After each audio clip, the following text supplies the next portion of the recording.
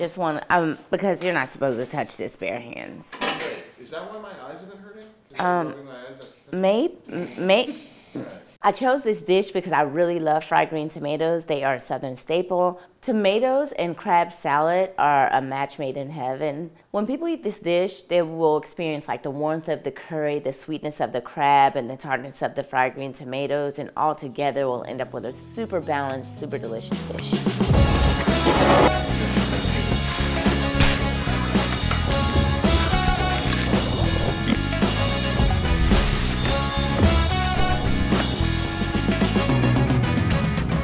I'm Burrell, chef partner of Late August here in Houston, Texas. Today, I'll be showing you how to make fried green tomatoes with a curry crab salad.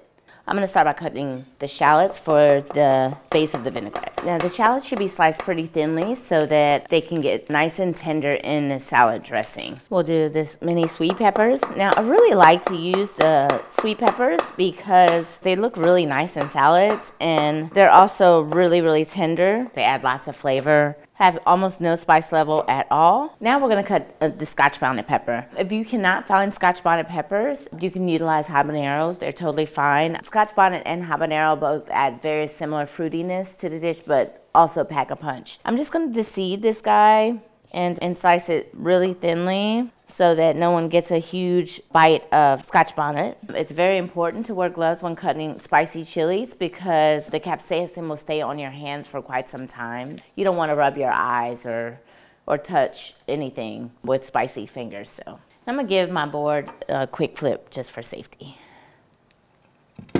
Now we'll cut the green onions for the salad. Cut these nice and thinly as well. I like to use both the whites and the greens of the green onion. They both add different flavors. The green tends to be milder, and the white part gives it the little aromatic, kind of deep, almost bitterness that, that I like to have in salads. And now for the ginger. We're gonna peel the ginger by using a spoon. So you need about an, an inch of ginger. And I'm just gonna grate this right into a bowl. If you don't have a microplane, you can use a regular grater. It's fine. You just want it to be really finely grated because ginger doesn't break down very easily. And this dressing is not completely cooked. We're just pouring hot oil over the dressing. So we want it to break down pretty well. Cool, that's about enough. In true Dawn Burrell form, I have nicked myself with, with my knife, but the good news is that this Made In knife came with a Made In band-aid, so it's all good. We're gonna get back started. All right, I'm gonna cut these tomatoes. The trick that I love to use is using two deli lids and sandwiching the tomatoes in between them. And it just allows you to be able to cut multiple tomatoes at one time. Voila, the job is already done. Now, we're gonna start cutting green tomatoes. Now, these green tomatoes are really nice. Your green tomatoes should be almost 100% green. Once it starts to turn red, it starts to get a little bit soft. I like them to be cut, not a quarter inch thick, third to a quarter is fine. Now that we have all the green tomatoes cut, we are going to season them with some Korean chili flake, uh, salt, and pepper. I love using chili flakes like this because it has just as much flavor as it does spice, which is what I really like. I'm all about flavor. Come back with some pepper really quickly for this side. And we'll season up on both sides. Now that we have our tomatoes seasoned, I'm gonna set up the breading station. To bread the green tomatoes, I'm gonna set up my three compartment breading system. Uh, now, I'm using panko and fonio. Fonio is an ancient African grain. Now I like to use it because it adds like a nuttiness and a richness, but it also like adds a super crunch that you won't find anywhere else. I'm just gonna get this well incorporated. And then the flour for the base of the dredge. And lastly, we'll crack some eggs into this bowl to glue it all together. I'm gonna add a little bit of water to this egg wash just to thin it out a little bit and make it a little bit easier to use. I'm gonna get everything seasoned with a little bit of salt because, you know, we should salt every layer to make sure that the green tomatoes are seasoned because they're tart, but other than that, they don't have a whole bunch of flavor. To bread properly, I like to keep one hand dry and one hand wet. And we'll go flour to egg to fonio. We'll drop this down and this will be my dry hand And I'm gonna just press the green tomato down and shake the excess off. And then I'm gonna rest the green tomato in the egg mixture for a little while while I continue to bread with the flour. We have uh, some that have been resting in flour for a little while. I'm gonna take my wet hand, just kind of massage a little bit some of the flour just to make sure it's fully saturated. And then I'm going to place it in the, the fonio and panko mixture immediately. And here I just kind of bury the green tomato and push it down. You don't want to handle it too much because you'll have the, the breading sticking to your fingers, which will kind of pull off the green tomato. And we have them all breaded. Uh, now let's take them over to the stove and fry them. To fry the green tomatoes, we're going to start by heating this pan to about medium high. And for cooking the green tomatoes, we'll need like about a quart to a quart and a half of neutral oil. And when it hits 350, the oil is ready for you. I just want to make sure that they have a good amount of space to get nice and golden brown. Now the temperature is going to drop when you add your green tomatoes. Just make sure that you reinforce the heat by turning the heat up just a little bit. I'm going to give these guys a flip. So they're already starting to get golden brown. Now it's important to fry your green tomatoes long enough. Green tomatoes are very hard. If you cook them too fast, the, the outside will be golden brown, but the inside will still be raw. We want it to cook all the way through. And the little lovely bubbling sound is the, the moisture escaping from the tomatoes, which is, I don't know, I just like that sound. It's really nice. All right, this guy is done.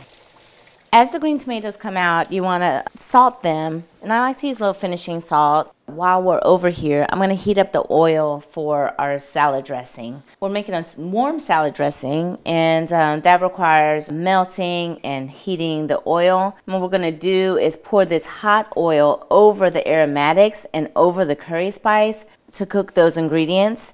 I'm using both coconut oil and extra virgin olive oil because I like the flavor of, of, coconut oil. It adds like a natural sweetness. All right, the coconut oil is melted. Just let this heat up to about 300 degrees. The oil starting to shimmer. I'm really smelling the, the nuttiness of the coconut oil. Yeah, it's ready. It's ready. So I'm gonna take it over here so we can make our salad dressing. We're making a warm curried vinaigrette. Uh, it's my favorite way to make vinaigrettes because it, the heat of the oil coaxes the right flavors out of the salad dressing. Also, I love warm salad, so it's a combination of these two things. I am now adding the ginger and the green onions. Add a little salt also. Get it all mixed in. And we're gonna just take the hot oil and just pour it over this veg. The hot oil just kind of cooks the curry, it softens the shallots. You smell it, it smells wonderful. A little bit more salt and the rest of the oil. Now we'll season with one tablespoon of cane vinegar and some lime juice. I'm actually going to reserve a little bit to put directly on the crab. And there you have it, our curry vinaigrette. We've made our vinaigrette, now it's time to build the crab salad. So I'm going to take a pound of crab that we've cleaned it's important to clean your crab because, you know, there's always a little bit of shell in each container. I'm going to season this crab with a little bit of salt and pepper on the, the meat itself and also a little bit of lime juice to, to kind of add some depth of flavor to the base of the salad. And get that a little stir gently because you want it to, to stay in big lumps as possible for the salad. And then I'm going to add the sweet chilies, the tomatoes, and some torn basil. The basil will also add some really nice fresh notes that we all want in salad. All right, the last thing is a beautiful salad dressing that I just made. And spoon that over. So you need about a quarter cup, but it's all based on, you know, your personal preference and how dressed you like things to be. You definitely want to taste the, the vinaigrette. You also want to taste the crab. All right, so this salad needs a, just a tiny bit more lime, so I am going to squeeze a cheek on there. The crab salad's done. Now let's plate it up. So I'm gonna take about five green tomatoes at the base. The outside of them super crispy. The panko to work together with this lovely coating. I don't like to shingle them so that every tomato can have some salad on them. Blanket all of the green tomatoes with this lovely warm crab salad. I'm just gonna finish the dish with a little bit more uh, curried vinaigrette to make sure that the flavor just goes all throughout the dish. Lastly, just a little bit more Thai basil. I'm gonna go in just to give it a little bit of color. And I'll just finish with a little bit more finishing salt. This is fried green tomatoes with warm crab salad and curry vinaigrette. I built this special one for myself and I can't wait to try it. Now, immediately, I feel how crunchy it is and I'm excited about that. Mmm, so good. if only it was super crunchy and earthy. The green tomato is tart, as it should be.